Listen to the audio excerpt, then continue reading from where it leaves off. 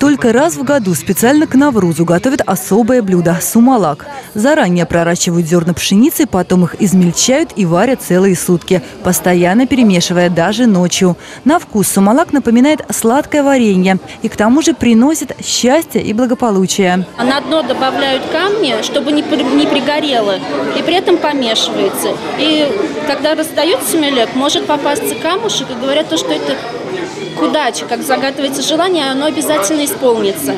Стол должны украсить семь продуктов, название которых начинается с буквы «Сим».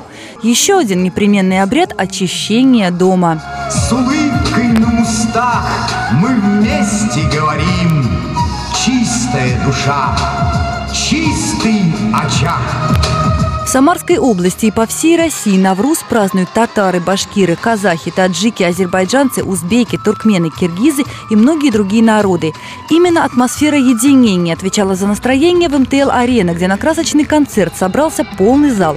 Гости и представители национально-культурных центров Самарской области. Вы являетесь теми людьми, которые пытаются сохранить э, свой язык, свои традиции, и привнося и вот эти традиции э, и эту культуру сюда, вы обогащаете э, нашу страну, наш регион. Праздник действительно стал международным, причем свои поздравления, в том числе и творческие, подготовили и представители других национально-культурных центров.